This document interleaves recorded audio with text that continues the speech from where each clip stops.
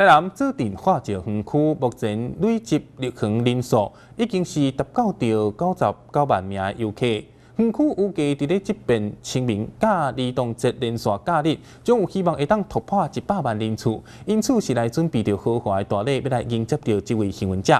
同时，卖伫儿童节来推出着十二岁以下儿童免费入园优惠，也有七头红爱摸彩活动。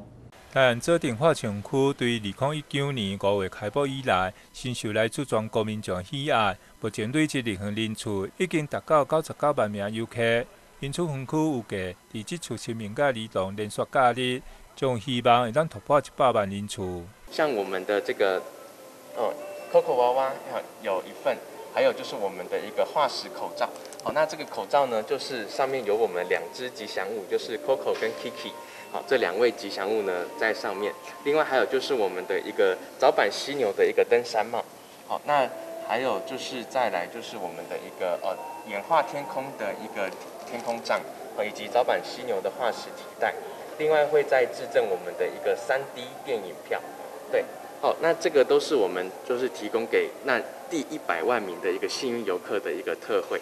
做电化石园区伫将要突破一百万入园人数，因此准备了豪华大礼，要来迎接这位幸运者。伫前一组甲后一组游客会当得到园区三 D 电影票甲文创商品，并且伫儿童节也推出十二岁以下儿童免费入园优惠。如果购票入园会当参加摸彩活动，将会推出二十位会当免费一单，无限入园参观。廉价结束之后呢，我们就会从这些摸彩券当中抽出二十位幸运的游客。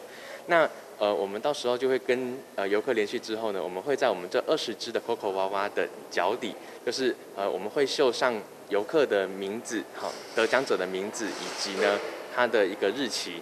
那之后呢，呃，只要您那个得奖者拿这只 COCO 娃娃到我们的馆内，他就可以在一年的期限之内呢。哦，无限次免费参观我们的这个佐证化石园区。